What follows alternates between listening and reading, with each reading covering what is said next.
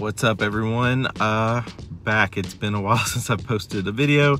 Seems like these are the kind of styles I've been doing lately. I've just been really, really busy, but just left to see Spider-Man No Way Home and first reactions is just mind blown at how good this movie is. I am ready to see it again.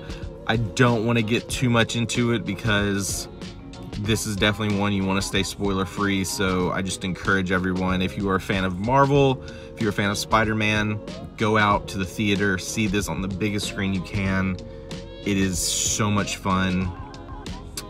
And stay till the very end. Um, it still blows my mind that I don't know how many Marvel movies we're in at this point.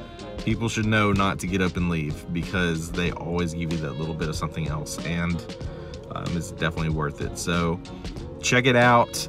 Uh, so much fun Marvel stuff right now. Uh, once again, be sure to check out the Agents of Mace podcast. Uh, right now, we've been talking about Hawkeye ep episodes. Um, the finale's next week. We've also covered the older Spider-Man films uh, to prepare for this one, but definitely go subscribe because this upcoming week we will be talking about No Way Home and we will be talking about the finale for Hawkeye. So go subscribe.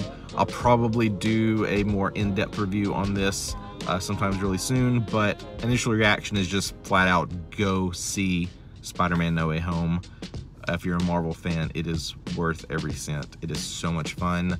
I am ready to go see it again. Thanks so much. See you soon.